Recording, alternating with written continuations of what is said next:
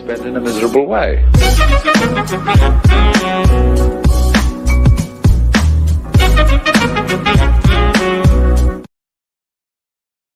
What is up, guys? It is Matt here from Movies R Us, and today we are talking about 2017's Jungle. I just got done watching Jungle, so I'm not going to spoil it for you guys, but just be prepared because I never know what I'm going to say.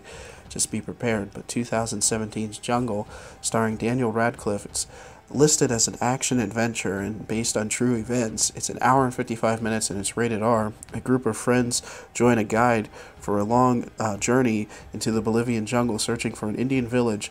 The men soon realize that the jungle is a difficult place to be. Um, it was an interesting movie. If you like survival movies or anything like that, you'll enjoy this movie.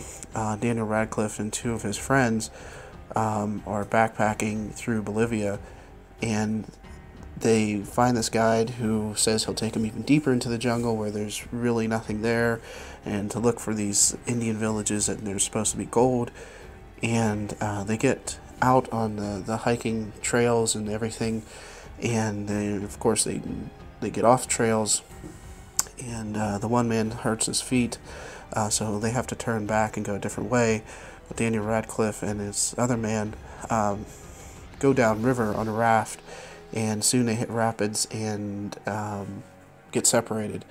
Most of the movie was following Daniel Radcliffe, of course. Probably I'd say a good hour of the movie was following him, so there wasn't a lot of talking, but um, it was still a good movie. I did enjoy it.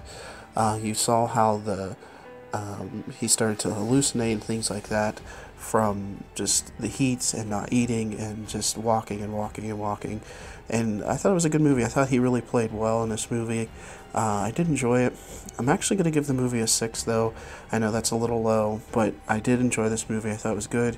Definitely check it out. It, it's not really that old, it's only about two years old. Um, but you can check it out on Amazon Prime, I think, is probably the main place, but you could probably rent it somewhere also.